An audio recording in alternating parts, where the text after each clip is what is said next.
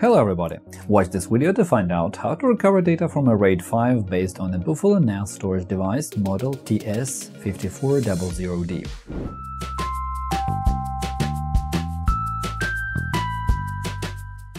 These days, many users and companies experience the need to store large amounts of data used in their everyday work.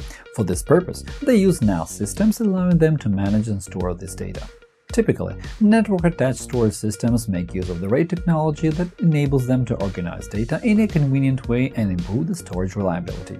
Such storage systems let them keep the data intact even if one or several hard disks fail, and this depends on the specific RAID level. However, even with RAID technology applied, data can be lost due to unexpected system failures, NAS breakdown or user errors. In today's video, we will explore the steps required to recover information from a RAID 5 system built on a Buffalo TS5400D NAS. This video tutorial will help you to restore the lost data in a quick and safe way, and then proceed with your work as if nothing happened. To get a general idea of how data is stored inside a RAID, let's see how to create it on this specific network storage device. To access the administration panel, start NAS Navigator, find your device on the list and right-click on it. Then choose Open Settings. Otherwise, open a web browser and enter the IP address of your storage device in the address bar.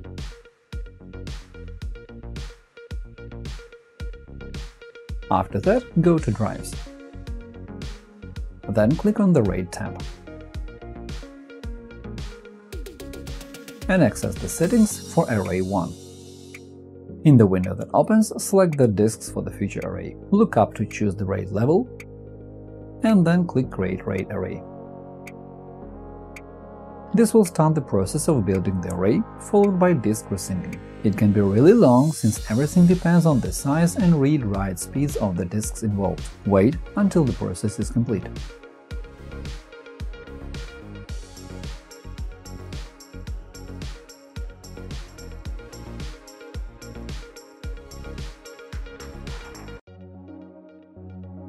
When the disks are combined into an array and resynced, you can create a shared folder and add some files there.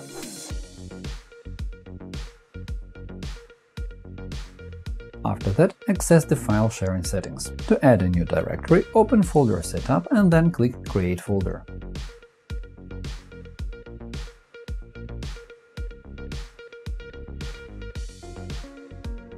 In the Shared Folder Settings window that opens, give its name and other attributes. Check the boxes for required network protocols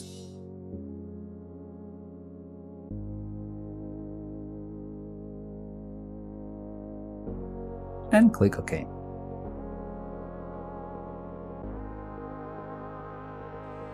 Now, the shared folder will be available on the network, and you'll be able to write data to the disks. The network-attached storage is now ready for work.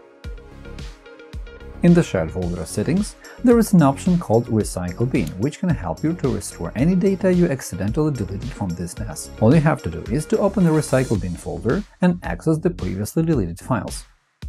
If the files you are looking for are missing from the bin or this feature is disabled, you can restore the files with the Data Recovery tool. If the network-attached storage doesn't work, you lost access to the network drive, or the RAID is crashed, you need a specialized tool to retrieve the important files from your NAS. Hetman RAID Recovery will rebuild the damaged RAID with the available hard disks, so that you'll be able to get the lost data back. This program supports all popular RAID types and most file systems. You can use it to recover data from Buffalo NAS systems as well as from devices by other manufacturers including Synology, QNAP, and other popular storage system brands. It can also help you rebuild a damaged RAID if the NAS or its controller is broken, and do it even if one or several disks within the array are out of order. You'll be able to restore critical information which is still on the disks and achieve it even without actually using the NAS. To start the recovery process, take the disks out of the storage device and connect them directly to the motherboard of Windows computer. If your motherboard lacks SATA ports to connect all the disks, or you have a similar problem uh, involving power connectors, you can solve the problem by using special expansion cards and adapters, which are now displayed on the screen. When the disks are connected, run the Data Recovery tool. It will automatically rebuild the damaged RAID system with the available disks and display it in the Programs window. Below, you will see detailed information on the RAID, which is just rebuilt. To start searching for files, run the disk scan. Right-click on the volume and select Open. Choose the search type Fast Scan or Full Analysis. For starters, we recommend a fast scan. The utility will promptly analyze the disks and display all the files it can find. This scan type will help you find the files in most cases. As you can see, the program has easily found all the files still remaining on the disks within the array. It also displays the previously deleted files, which are marked with the red cross. You can check the contents of all files in the preview window.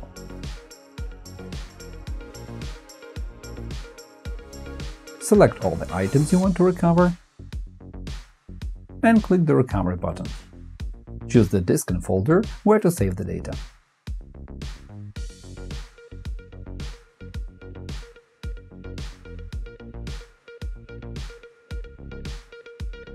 When the process is over, you will find the recovered files in the folder you have chosen.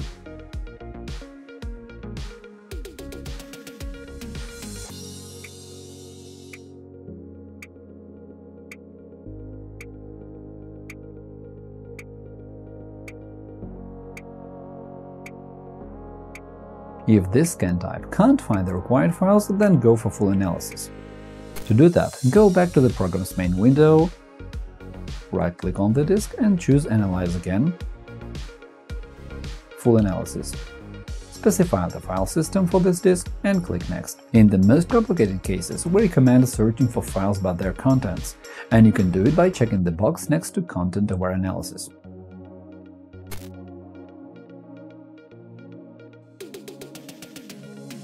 To quickly find a specific file, there is a Search by Name feature.